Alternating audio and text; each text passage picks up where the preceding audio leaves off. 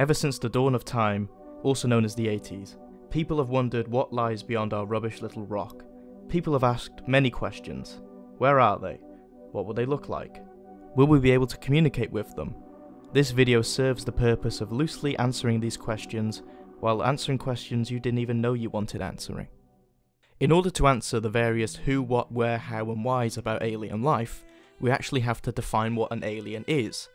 Old men with white beards have asked this philosophical question for many years before me, and helpfully, they all came up with different answers, all more complicated than the last. Scientifically speaking, the question of what life is is also diverse, including things like cells, but for simplicity's sake, and to make the video less mind-numbingly boring, I'll use two easy requirements to make sure something is actually alive. Number 1. It has a metabolism. This is just a fancy word for the chemical processes that keep living things alive. The second requirement is that the thing must be able to move in some way. All things that are alive in some way move, even things that stereotypically don't move, such as barnacles or those weird living rock things that people love to share on Reddit. They all still move in some way. Whether it be opening a mouth or throwing various bodily fluids into the water, all living things move in some way or another. Now that that's out the way, I can dive into the interesting bits. The most pressing question regarding alien life, apart from when are they going to make another good fucking alien movie, is where is it? Shouldn't we have found it by now? When answering this question, people often talk about microbial life, and then people become really uninterested very quickly. While the chance of finding alien microbes is much higher than multicellular life, it's still very possible that we could find complex alien life within this very solar system. Let's take a zoom around the solar system talking about all the places that could potentially harbour life. Let's start with the obvious one, Mars. Unfortunately, Mars probably doesn't have weird aliens running about for Tom Cruise to avoid, however it may well have boring microbial life. Mars may have had liquid water oceans a long time ago similar to ours, but they're not there anymore so it isn't really important. What is important is the fact that there could be flowing water beneath the surface, which could contain microbial life. Along with water, another important factor to life as we know it is biological carbons, which the 2012 ALH 84001 Martian meteorite contained examples of. This shows that Mars may have supported life at some point. An outlandish theory suggests that Martian microbes could have been blasted into Earth's oceans at one point, leading to life on this planet, but living things tend to have a hard time in space, so that theory is a bit meh. Next on the list is the famous Europa. This moon is a really promising prospect due to the fact that under its ice crust, a saltwater ocean spans the entire moon. This ocean could be warmed by gravitational tidal forces and hydrothermal vents.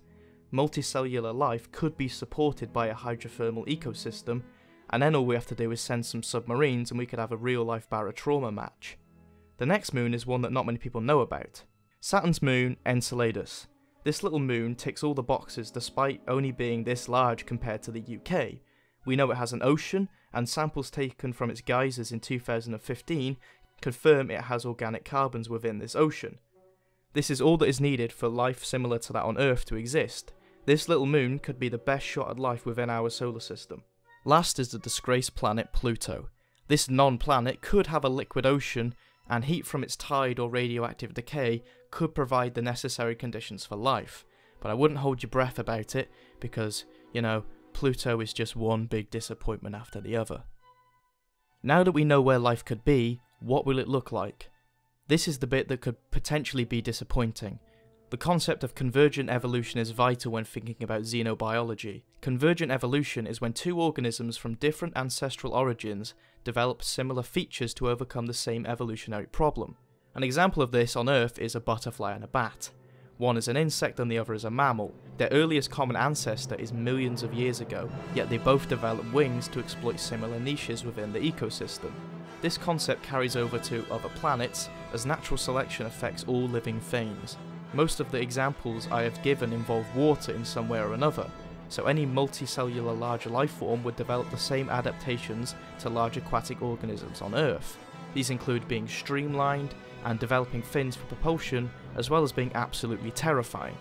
The harsh truth is that life we find on Earth is fine tuned for the niche in the environment it fills. If that niche happens to exist on another planet, it won't change the outcome that nature provides. All of the points I've gone over have been about life as we know it, using examples that we have seen. But what about life that we don't know? When it comes to extreme environments, Earth is no stranger. We have some badass extremophiles on Earth, and I don't mean those pussy ass water bears, I'm talking about the true extremophiles.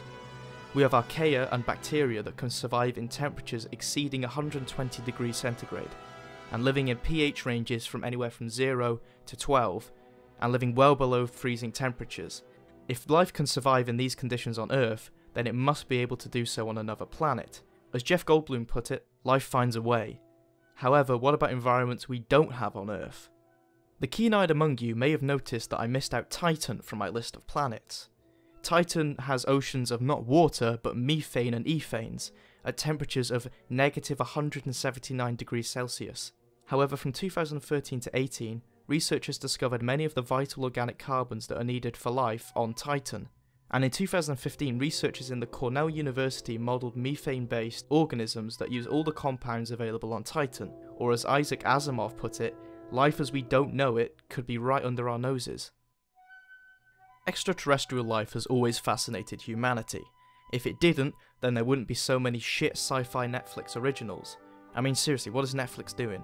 The main problem with finding it is that it costs a lot more money than making a movie, and politicians have more important things to do, like running countries into the ground and bringing on the next apocalypse.